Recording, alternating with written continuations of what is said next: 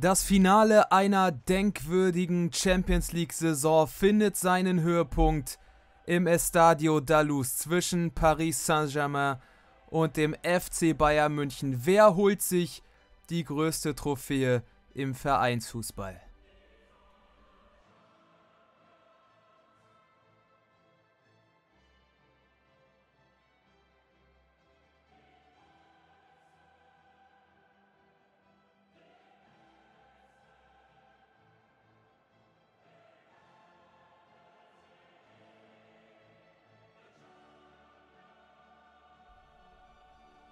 Um diesen Pokal hier soll es gehen. Und der FC Bayern München in den roten Trikots in der ersten Halbzeit von rechts nach links legte sehr gut los gegen PSG, die auch nach vorne aktiv waren und dadurch Räume offenbarten. Coman, der heute in der Startaufstellung statt Perisic spielte, aber eigentlich mit der falschen Entscheidung. Trotzdem kommt in der zwölften Spielminute eine richtig gute Chance zustande.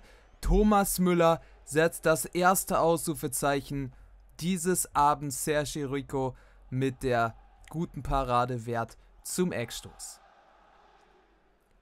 PSG setzte sich ja gegen Leipzig durch, vorher sehr knapp gegen Atalanta Bergamo, das Halbfinale dann aber von den Franzosen tatsächlich ziemlich gut geführt. Der FC Bayern München hatte aber keinen großen Respekt davor, sind sie doch auch hier nach dem 8 zu 2 gegen Barcelona und dem 3 zu 0 gegen Lyon leichter Favorit. Hier eine Abseitsstellung, es hätte gefährlich werden können, aber die Fahne ging frühzeitig hoch. Fragwürdig, ob das die richtige Entscheidung war.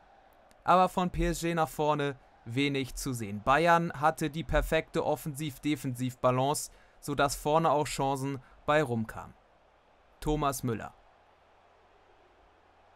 Das gute Auge für Gnabry, der liegt direkt zurück. Müller zu Lewandowski und der Ball ist im Tor. 25. Spielminute, das 1 zu 0 für den FC Bayern München. Und so frei darfst du ihn dort einfach nicht stehen lassen. Kein Abseits. Dem Polen wird nachgesagt, in großen Spielen oft unsichtbar zu sein. Allerspätestens jetzt dürften diese Stimmen erstmal abklingen das verdiente 1 zu 0 für den FC Bayern München und sie wollten gleich ein drauflegen. Der Ball von Coman hier wieder suboptimal. Juan Bernat kann's klären. Ex-Münchner auch für ihn eine spezielle Geschichte. Sie werden sich erinnern an die Geschichten rund um Juan Bernat. Lewandowski. Bleibt im Ballbesitz. Lewandowski gegen Sergio Rico in der 33. Minute. Diesmal der zweite Sieger. Das 2 zu 0 hier schon durchaus möglich aber starke Parade des Pariser Schlussmanns. Knapp 10 Minuten noch bis zum Seitenwechsel. Für Paris war es die beste Nachricht, dass es nur 0 zu 1 stand. Und jetzt kam sie nach einem Eckball der Bayern zum Kontern. Neymar Junior. Wunderbarer Übersteige. Flanke mit dem Außenriss. Und in der Mitte ist es Angel Di Maria, der den Kopfball aber viel zu mittig platziert. Manuel Neuer hat kein Problem, den Ball zu parieren. Es ging mit dem 0 zu 1 in die Pause. Es war absolut verdient, daran bestand kein Zweifel. Aber der FC Bayern München wusste, dass PSG in einzelnen Situationen trotzdem immer zuschlagen kann. Deswegen konnte man sich auf diesem 1 zu 0 selbstverständlicherweise nicht ausruhen. So ging es weiter nach vorne. Goretzka Stark vorgelegt von Thomas Müller und abermals Sergio Rico mit der guten Tat. Super Dropkick von Goretzka, der hätte gepasst, der senkt sich fies. Aber auch der Schuss etwas zu zentriert. Stunde gespielt. Was war mit PSGs Superoffensive los? Paredes, gutes Auge, rechts außen. Dann Kehrer zu Di Maria. Aber was für ein Stellungsspiel von David Alaba. Ganz wichtig, dass er dazwischen geht, sonst vielleicht auch Boateng da trotzdem. Das ist einfach gut, der Pass von Di Maria auch nicht optimal. Aber was der Österreicher macht, durchaus ansehnlich. Wir springen schon in die Schlussphase. Kingsley Coman treibt noch einmal an. Weite Schritte, weite Meter. Der Pass zu Müller. Eigentlich gut, aber es kommt kein wirklicher Abschluss zustande. Sergio Rico hat den Ball fest zwischen den Fingern.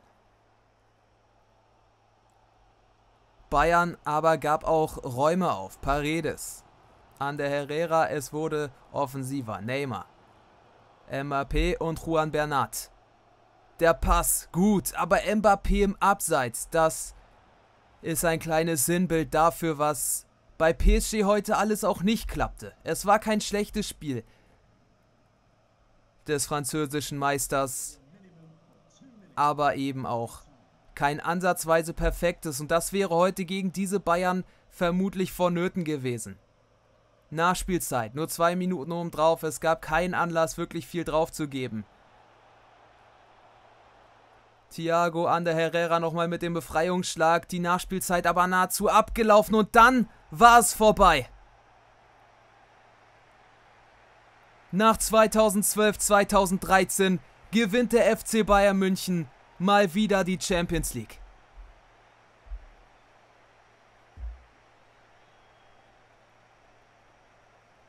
Und wenn man sich den Turnierverlauf anschaut, dann kann es eigentlich auch nur einen Sieger geben. Und das ist eben der FC Bayern München. Und der Freude konnte nun Freilauf gewährt werden.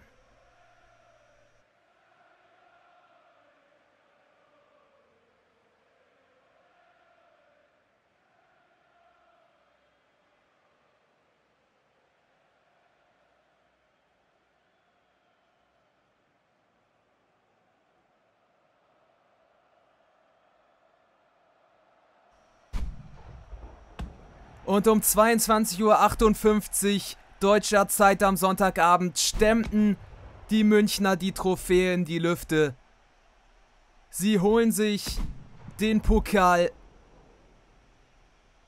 durch den Siegtreffer von Robert Lewandowski.